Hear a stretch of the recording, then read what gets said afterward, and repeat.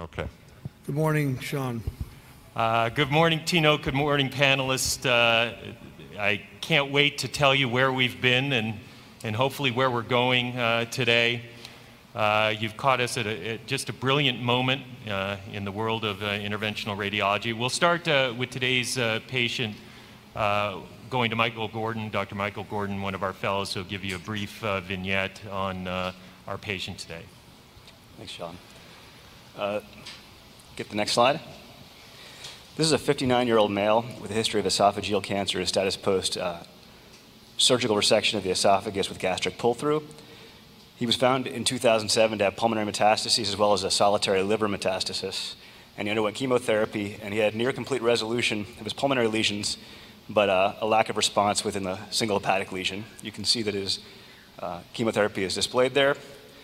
He was scheduled for an RF ablation of this right hepatic lesion in, earlier in January, but a CT scan performed at that time showed a significant increase in size of this liver mass.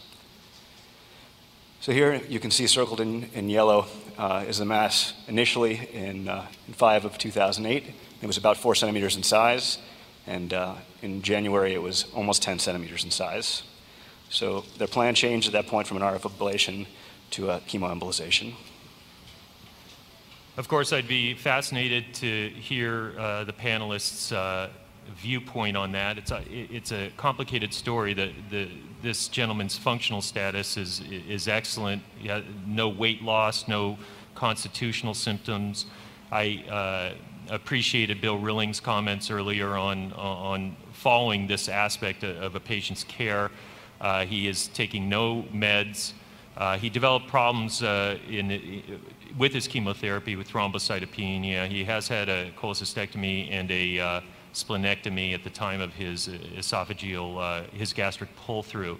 And what I'd like to do um, first is just sort of take you through the, the history of where we've been here uh, on this arteriogram. Maybe it points to uh, the fact that uh, maybe we, we could have gotten more imaging ahead of time. Uh, but let's, uh, let's take a look through. I'm going to uh, sort of start from the beginning here. We did do an XperCT. Perhaps we can show monitor A there.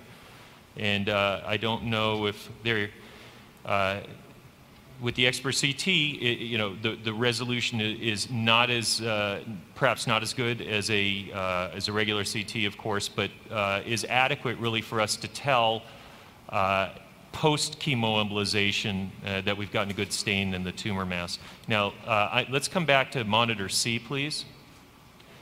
And I'm, I'm going to scroll through here, at least I think I am, um, some of where we've been.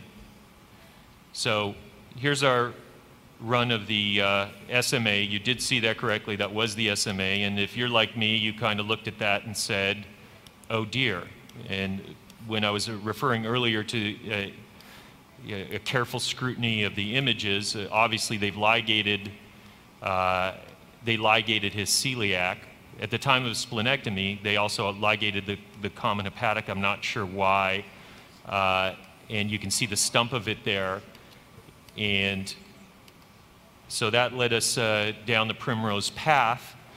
Uh, and I'll just quickly, uh, and you can see perhaps in that run, the, the um, I'm sorry, I'm toggling back and forth here.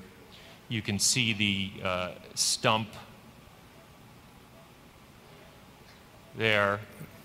I, I, I, assume that's coming through, Tino. Yes, we can see it pretty well. Yeah, there, yeah and this is, and everyone will recognize that that uh, there was a com probably combination here that there was a, a replaced right hepatic uh, or an accessory hepatic. There is no celiac that, that we could discern.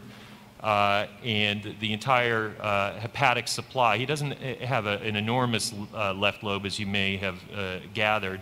His entire, entire hepatic supply is coming off these two, you know, the, at, at zero degrees, at, at, at 12 noon and 6 o'clock there, those two branches and our wire caught the upper one. Um, and just to, to, prove that, we did an aortogram. To, I, I, won't walk you through that just in the interest of time. Um, we're just going to walk through some, some runs here as I was sort of struggling to figure out what to do. Uh, Not that it was a huge struggle,